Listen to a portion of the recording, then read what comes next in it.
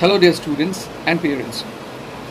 Today I'm here to give an update on the upcoming essay writing competition that is going to be held at Uttar Shiksha Academy. Class 5 to 10 students are eligible to participate in this competition. We will be providing the topics in advance uh, so that you can prepare.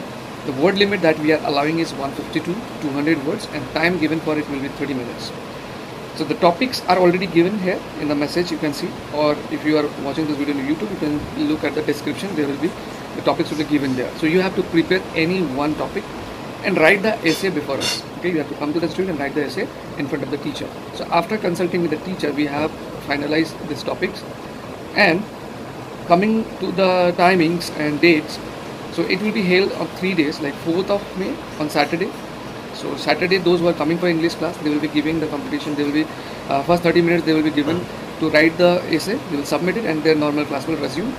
And on sun- Sunday, all the students who have not taken English class with us but want to participate, they will have to come on Sunday 8 a.m. sit for the competition. 30 minutes will be given to them also. They will write it, submit it, and go back home.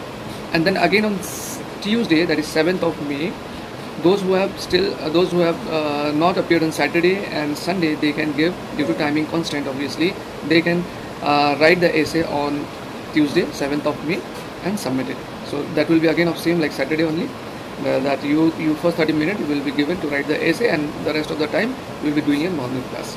So after you complete the essay competition teacher will take some time to check it and give you marks.